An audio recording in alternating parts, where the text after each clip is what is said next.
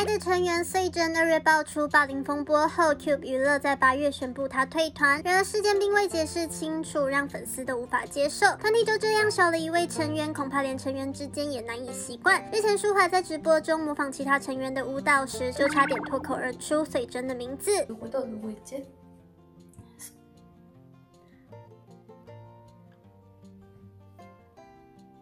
서 언니, 서 언니, 서 언니, 서 언니 뭔가 고반을 잘 들어요. 뭔지 모르겠네. 而差点提到穗珍的片段之后，也被公司删除，更坐实了没说出口的名字就是穗珍没错。短短几秒钟，舒华复杂的神情也让网友看了心疼。毕竟一直以来，穗珍都是舒华最依赖的姐姐，无论事情的真相是如何，她都是舒华家人般的存在，心情肯定是很复杂的啦。